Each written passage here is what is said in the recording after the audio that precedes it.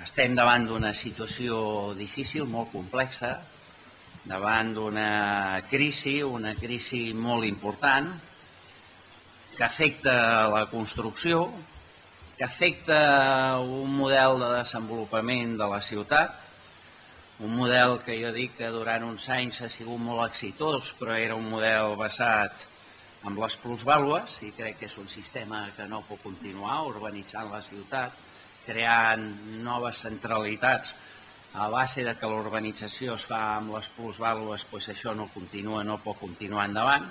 Estem davant d'una crisi financera amb una manca de liquiditat per part dels bancs i que afecta a tothom, que genera una gran crisi econòmica, que afecta la indústria, el comerç, el turisme, que afecta i afecta d'una manera important també la ciutat de Barcelona, perquè vam fer una aposta durant un temps amb un model de creixement basat d'una manera molt especial amb el, la construcció, el turisme i els serveis, que és un model que jo en dic de low cost, de mà d'obra barata, i crec que no podem competir, continuar competint basats en aquest model, malgrat que insisteixo això, durant un moment s'ha creat un gran creixement econòmic i estem davant d'una situació molt complexa, molt dura, d'una crisi social, amb aparició d'atur, de pobresa, i això coincideix en un moment en què en els últims nou anys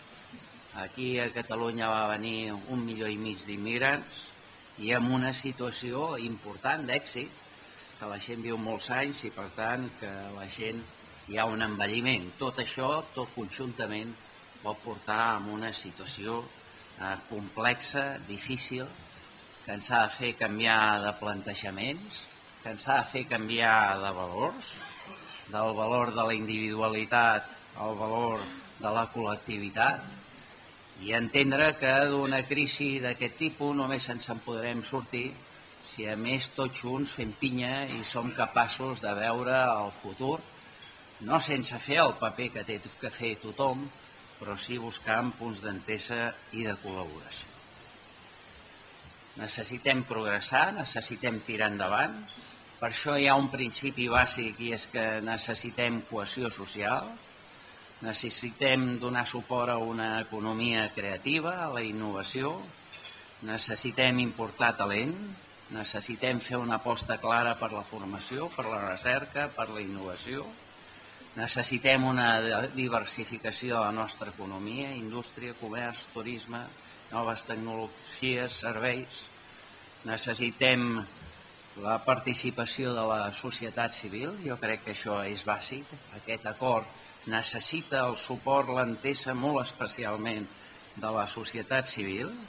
Hem d'estar oberts des de Barcelona, a més, a la resta del territori nosaltres necessitem, a més, una aposta claríssima envers les infraestructures que necessita el nostre país i estem en una situació teòricament molt difícil, però una situació que podria ser francament bona.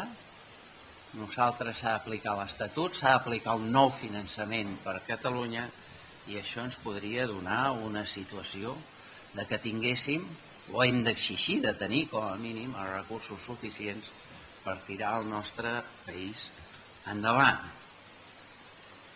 L'aposta a les infraestructures és molt important, és una aposta estratègica, és una aposta de futur, és una aposta fonamental i és una aposta bàsica per sortir de la crisi, per situar Barcelona com a capital de la Mediterrània i per situar Barcelona en una situació d'avantatge a cara al futur. La veritat és que la ciutat de Barcelona i Catalunya arrosseguem un dèficit, un dèficit d'inversió que el suportem de fa molts anys. Jo ho he viscut, ho he viscut a nivell de la Generalitat, ho he viscut a nivell de, de quan he fet de diputat a Madrid, ho hem passat malament, en molts casos, la màxima, la màxima inversió que es va produir durant molts anys va ser els anys abans dels Jocs Olímpics, que s'invertia en aquells moments i semblava que era el moment que tot s'invertia a Barcelona, no vam passar d'invertir a Catalunya el 12% del que invertia l'Estat. La següent punta d'inversió la vam tenir en els anys del senyor Aznar, que amb el tren d'alta velocitat ens en vam anar fins al 16% de la inversió, però sempre, sempre, sempre hi ha hagut eh, una situació amb un dèficit d'inversió molt gran. Dèficit d'inversió, dèficit en molts casos de planificació, jo crec que això no és tan cert. El que hi ha hagut és un dèficit de decisió i de ser capaços de que el que es planifica es concreti en projectes i que tinguem projectes en cartera. Aquest jo crec que és un dels problemes més grossos que ha patit Catalunya en els últims anys.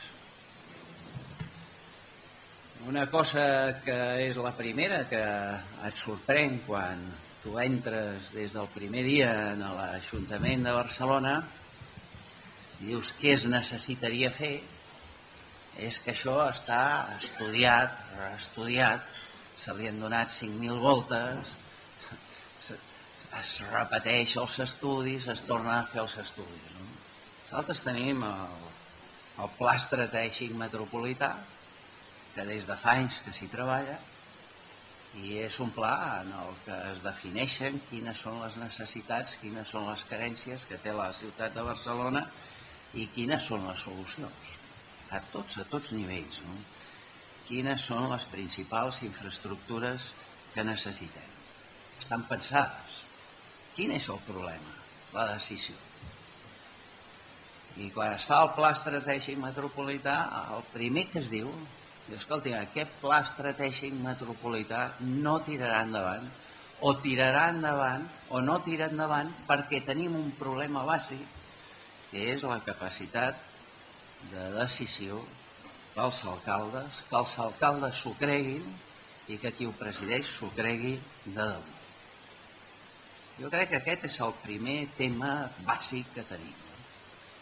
Si nosaltres fem un conjunt de planificació d'infraestructures per la ciutat de Barcelona i per l'àrea metropolitana, el primer que es necessita és creure-hi, creure-hi de debò, que els alcaldes, que l'alcalde que presideix en aquests moments, pues, siguin capaços de creure-s'ho de debò i tirar-ho endavant.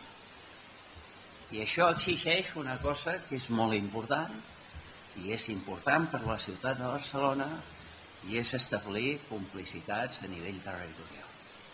Sense complicitats a nivell territorial això es converteix en una picabaralla, es necessiten complicitats territorials i això i aquest convenciment ha portat en el grup de Convergència i Unió amb, amb sorpresa de molta gent a ficar-se dintre del govern metropolità, a participar del govern metropolità amb una voluntat clara, primer, de trencar una, una certa llegenda o, o una realitat, perquè no és només llegenda, una realitat, Convergència Unió, un govern de la Generalitat va suprimir l'àrea metropolitana perquè es feia des d'un punt de vista que creiem que era completament equivocada i d'enfrontament amb la Generalitat.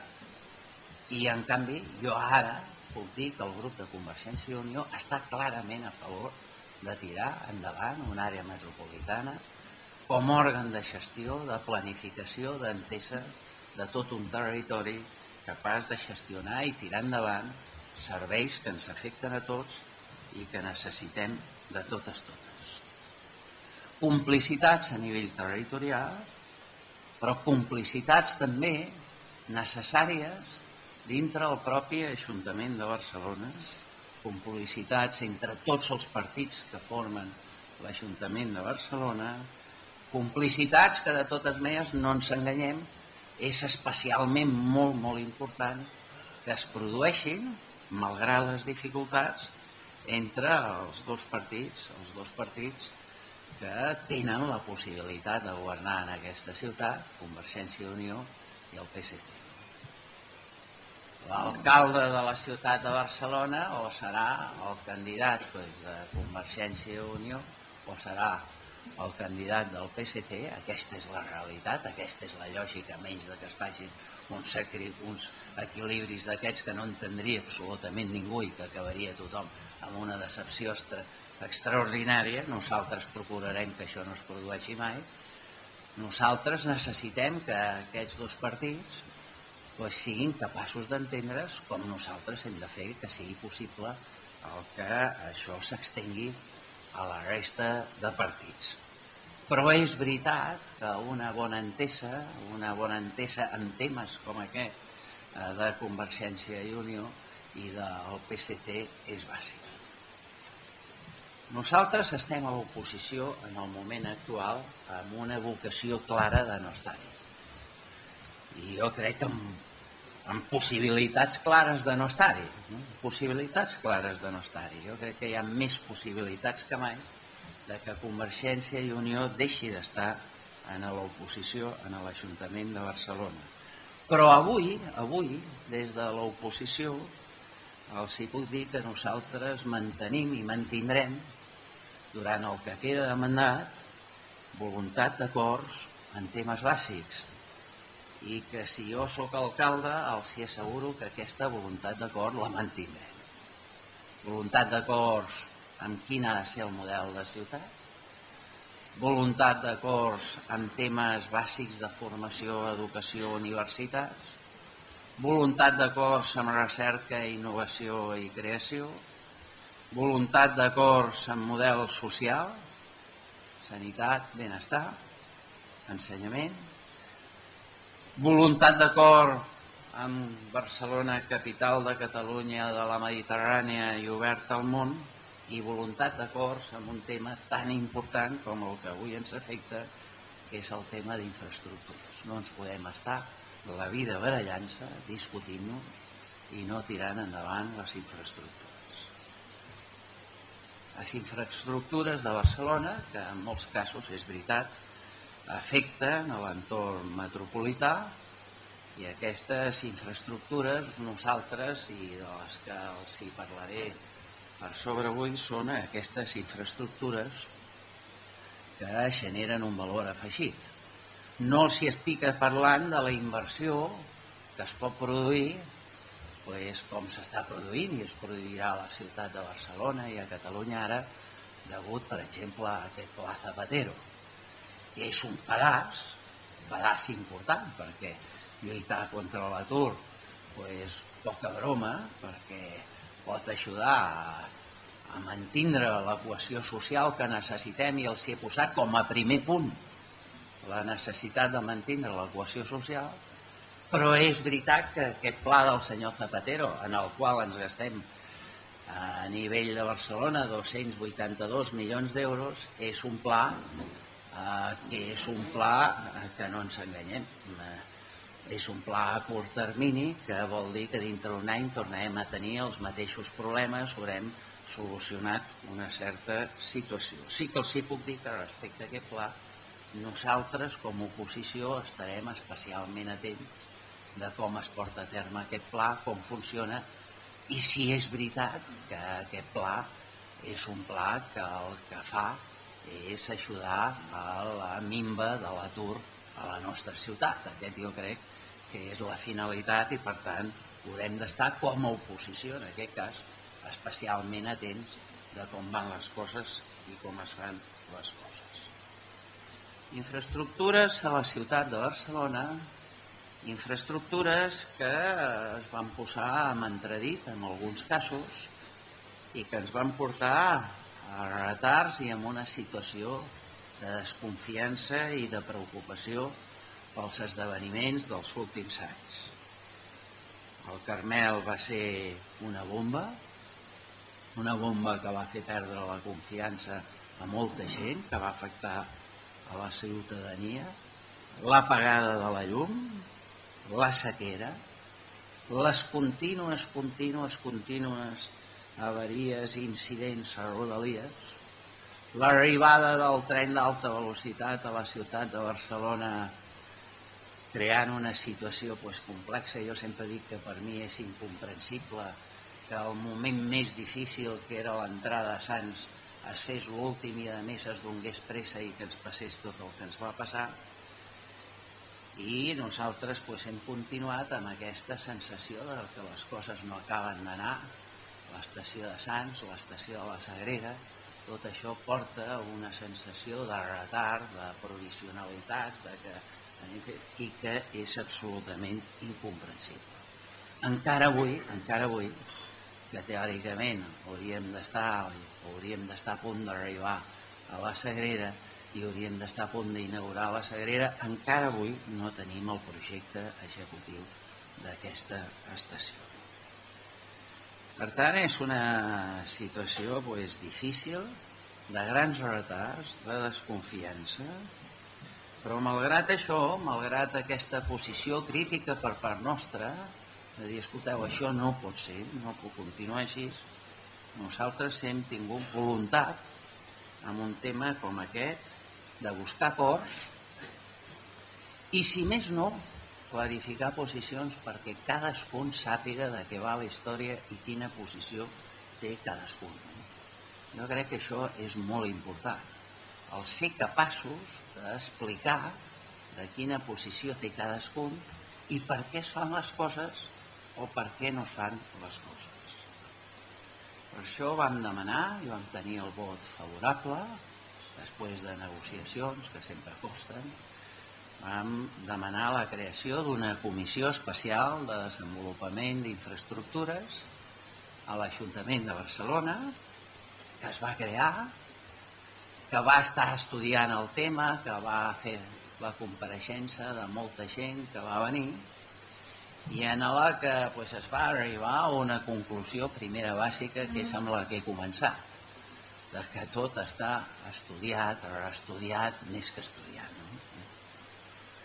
I que el que es necessitava era marcar posició i que cadascun dels grups sigui capaç de definir-se. I després d'uns mesos de discussió pues, hem estat capaços de fer un escrit, de ser capaços d'arribar a unes conclusions i de prendre posició en un conjunt d'infraestructures de la ciutat i de prendre posicions moltes, moltes, moltes per unanimitat, bastantes per majoria i també ha permès que els grups es puguin manifestar i siguin capaços de dir, escolti'm, doncs jo vull això o jo vull això altre. No? En el cas nostre, per exemple, de Convergència i Unió, vostès saben que ja fa anys que nosaltres diem, escolti, l'aigua fem una aposta clara per Roina.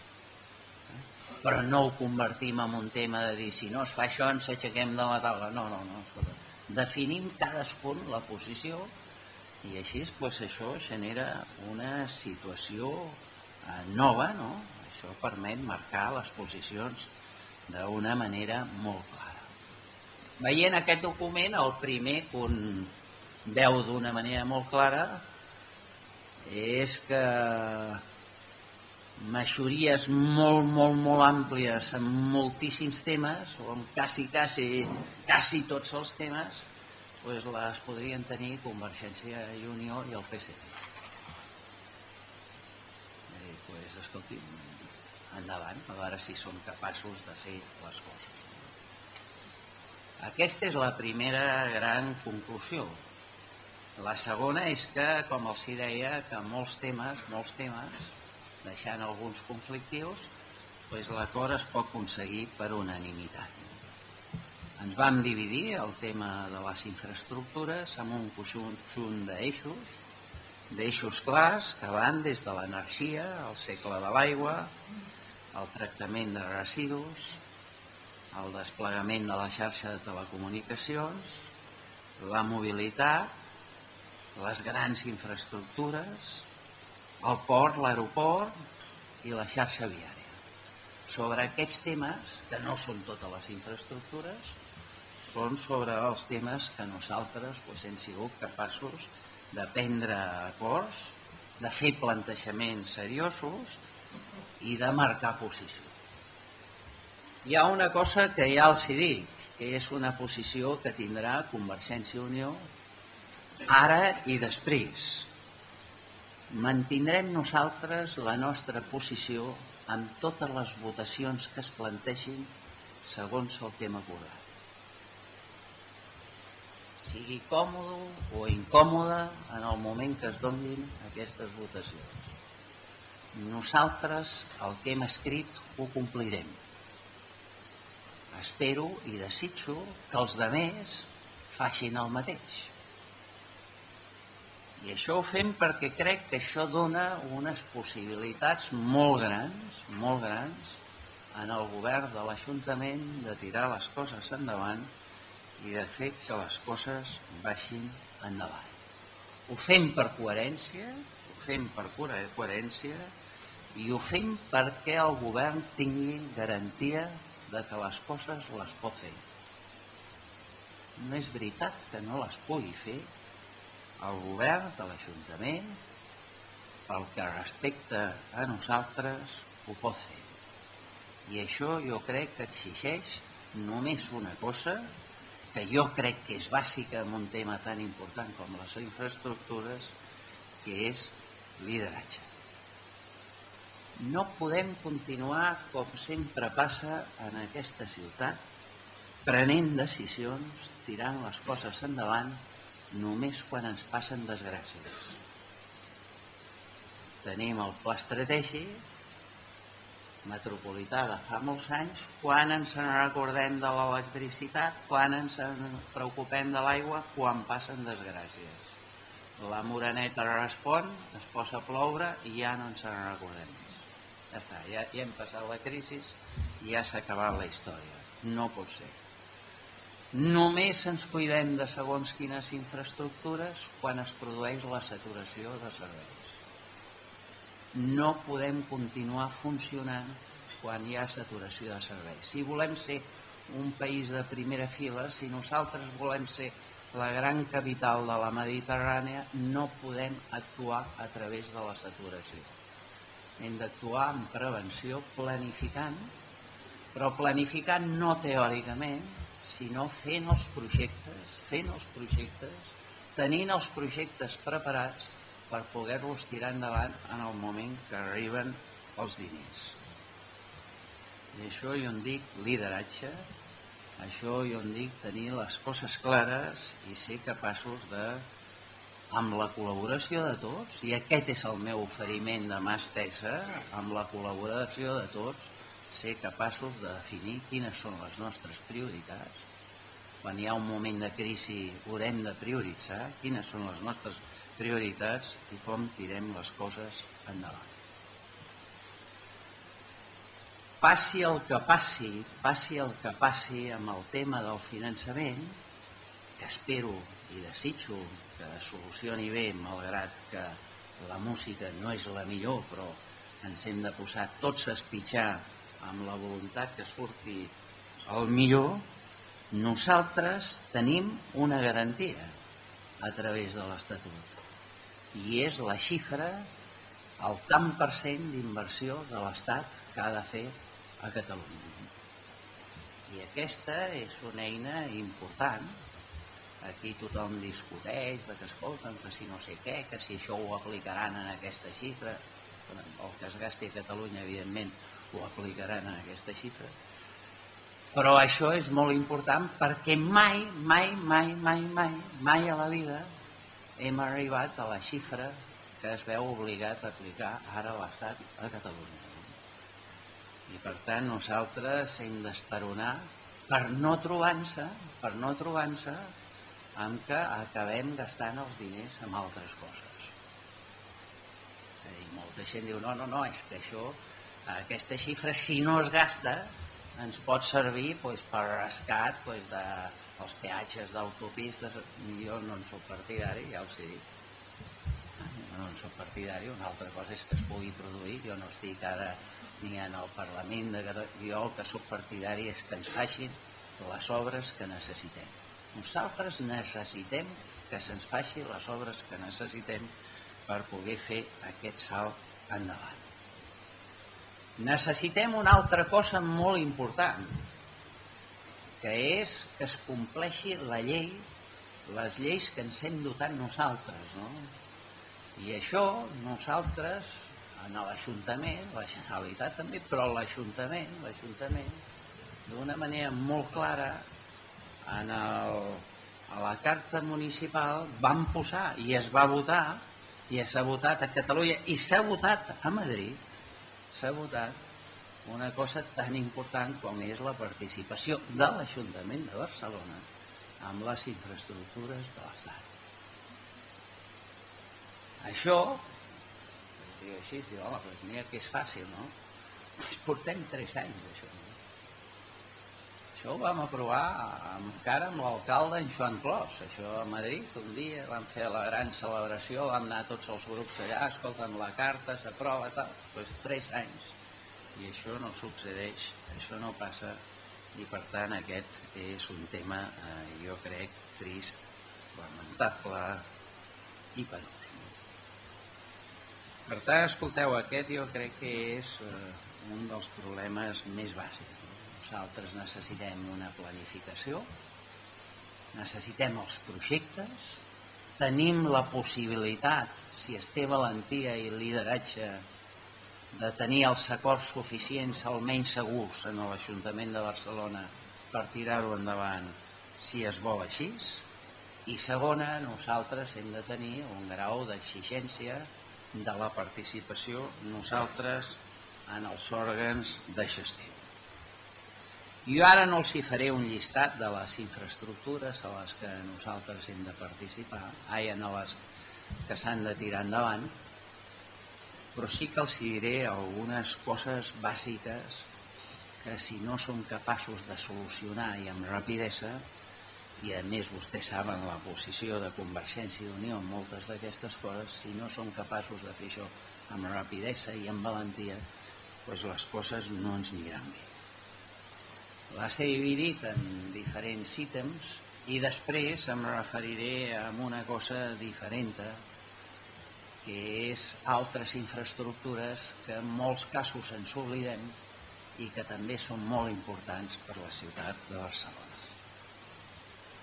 Una és la, la incidència en infraestructures bàsiques, no? Desgraciadament, nosaltres no tenim només un problema de manca d'inversió puntual per fer un salt endavant en les infraestructures, sinó que, a més, nosaltres durant molt de temps hi ha hagut una manca d'inversió de manteniment. I nosaltres necessitem infraestructures bàsiques d'electricitat, d'aigua, i després tenim un, un tema que no s'afronta com s'hauria d'afrontar i dintre de dos o tres anys podem estar en un atzucat impossible, que és el tractament de residus. Això, si no ho solucionem, pot ser d'una situació gravíssima. I tant l'electricitat com l'aigua, doncs nosaltres hem de fer una aposta claríssima, prendre les decisions i fer-les. I fer-les. Fer-les. Quan nosaltres ara estem fent una desalinitzadora i no estem parlant ja mai més d'interconnexió de xarxes, crec que fem un gravíssim error i s'ha de tirar endavant i hem de buscar les solucions adients. I nosaltres, evidentment, continuem parlant de roïna. Però, en canvi, jo dic, si vol, eh, això diu, escolta, ho estudiarem, ho estudiarem, doncs l'altre, com a mínim, tirem-ho endavant i fem-ho ja. No? En telecomunicacions també hem de fer aquest esforç. No? Nosaltres, si no tenim una bona xarxa de telecomunicacions, fem una mica el ridícul. Nosaltres podem portar aquí el congrés més important de telecomunicacions d'Europa i vostès saben el que fem. D'amagat posem antenes i posem de tot durant uns dies a la ciutat perquè sigui possible aquest congrés. I no som capaços, no som capaços de desenvolupar una bona xarxa i donar resposta a les necessitats no de present, sinó de futur de la ciutat. Tenim infraestructures estratègiques en Jordi Vall sap més bé que jo que són importantíssimes. El port, l'aeroport. El port és un exemple de com mecanismes de gestió amb unes certes possibilitats, perquè tampoc no és que ens hagi han donat la lluna, no? però que dona unes possibilitats grandíssimes de responsabilitats i de poder fer fer un salt importantíssim a una infraestructura com el port. Nosaltres necessitem pensar en el port i l'aeroport no del 2011, sinó del 2020, perquè si no tornarem a arribar tard. No? I aquesta és la gran aposta. No? I és ridícul tenir un port i un aeroport separats 5 metres ja o ja no separats perquè es toquen, com qui diu, no. I que no siguem capaços de crear les estructures viàries i de tren necessàries perquè això sigui una eina explosiva de futur de la ciutat de Barcelona. Transport de mercaderia, transport de ciutadans, jo crec que és absolutament bàsic, important. I això ha de ser la, la gran aposta, no? la gran aposta per la mobilitat de tot aquest entorn metropolità en el que l'afecta d'una manera, d'una manera importantíssima, però importantíssima, però d'una manera importantíssima el transport de mercaderia. Al mateix temps nosaltres o es desenvolupa com s'ha de desenvolupar la xarxa de rodalies, que no vol dir millorar la situació de la que tenim actualment, això és, és un greu error. No? Ens gastarem molts diners en rodalies. No, és que n'ha de gastar més. N'ha de gastar més. Perquè no hem de pensar només en millorar les rodalies, sinó que hem de fer el salt endavant a les rodalies del futur. No podem quedar dir, home, cada cosa un pas, cada cosa un pas, però nosaltres ja hem de tenir plantejat què farem dintre de 3-4 anys. No? Nosaltres hem de prendre decisions clares amb això. Metro jo crec que ho tenim ben encarat, amb molts retards, molts retards, però jo crec que la programació està ben encarada. Nosaltres no crec que tenim ben encarat encara Rodalies amb una acció definitiva. Nosaltres tenim un problema d'aposta de mobilitat que hem de decidir pues, l'entrada i les sortides de la ciutat de Barcelona. Quart cinturon, carreteres, transport, transport a través del metro i rodalies, i nosaltres hem de prendre una decisió definitiva que no val la pena, no val esperar i estar-se esperant, esperant, esperant, amb quines són les estructures que comptarem en el futur de relació d'aquesta ciutat amb el seu entorn, amb tot el que és carreteres i tren. Ens passem la vida reservant espais per interconnexió amb el Vallès o per interconnexió amb el nostre entorn i no som capaços de prendre una decisió, positiva o negativa, però una decisió. Perquè si es pren una solució o una altra, vol dir que s'han de fer altres coses. Perquè el que no podem tenir és la situació que té la ciutat de Barcelona, que s'ofega. No? Aquesta ciutat de Barcelona ens passem el dia pacificant el trànsit interior de la ciutat que no els diré que estigui malament, però és que la ciutat de Barcelona, el trànsit intern de la ciutat de Barcelona, no està tan malament. Nosaltres el problema gros que tenim és les entrades i les sortides. I hem de ser capaços de replantejar-se quines millores s'han de fer les rondes o quines altres solucions eh, s'han de donar a la nostra ciutat. Infraestructures productives, que també jo crec que està ben encarat, la Fira, Marca Barna. El Consorci de la Zona Franca. El Consorci de la Zona Franca, jo sempre dic que aquest és un fet insòlid. No, no em ficaré amb el seu president, perquè, escolta, jo sempre dic, si vol el tornarem a votar i el posarem davant. Però és insòlid que això encara depengui de Madrid. És una àrea industrial potentíssima de la nostra ciutat i que hem de ser capaços pues, de que això sigui una eina importantíssima d'indústria en la nostra ciutat. No podem perdre la indústria de la nostra ciutat. I nosaltres hem de fer que aquest consorci de la zona franca, en col·laboració estreta amb el port i l'aeroport, siguin capaços de fer àrees logístiques que ens permetin fer un salt endavant. Crec que aquestes apostes les hem de fer, les hem de fer amb força. En aquest paper que hem escrit crec que queda prou clara la posició de cadascun de nosaltres en aquest tema i per tant jo crec que la carta sobre la taula la té en aquest moment el govern de l'Ajuntament que tindrà el nostre suport claríssim per tirar endavant totes aquestes coses. Hi ha altres temes que no s'han tocat en aquesta amb aquest repàs, vaja, amb aquest acord d'infraestructures que hem fet amb l'Ajuntament i que em perdonaran que no les eh, no faré una exposició exhaustiva d'elles, però sí que els n'hi algunes perquè vostès veixin la importància. No? Nosaltres, infraestructures socials, la ciutat de Barcelona té una manca d'infraestructures socials molt important som una de les ciutats, comparativament amb totes les del nostre entorn, que té menys centres sociosanitaris, que no té una xarxa important d'aquests centres a la ciutat de Barcelona, que tenim un retard més important. Tenim un altre problema.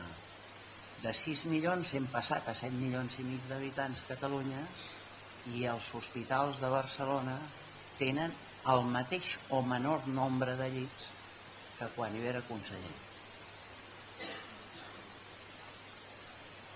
Diu, no, és que se'n faran als voltants. No, és que la ciutat de Barcelona ha canviat la seva situació.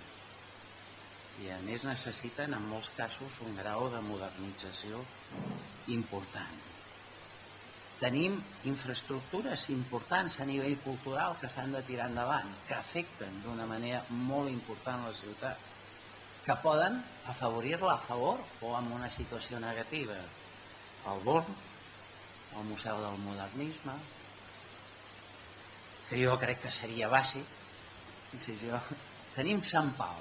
Sant Pau és una joia, és un lloc espectacular. Qualsevol que ciutat que tingués Sant Pau, jo dic, escolti'm, però si és de calaix, que aquí hi hauria d'haver un museu del modernisme, museu del disseny. Nosaltres tenim un conjunt d'infraestructures bàsiques de recerca, algunes que no es fan a Barcelona, com el sincrotró, però nosaltres hem de fer una aposta a la ciutat de Barcelona per l'universitat, la biomedicina, temes d'alimentació. I nosaltres hi ha un conjunt d'infraestructures que quan parlem d'infraestructures la gent se n'oblida que són molt importants per la ciutat i en les que nosaltres també hauríem de ser capaços, molt capaços d'arribar a acords acords puntuals amb l'Ajuntament de Barcelona per tirar-los endavant.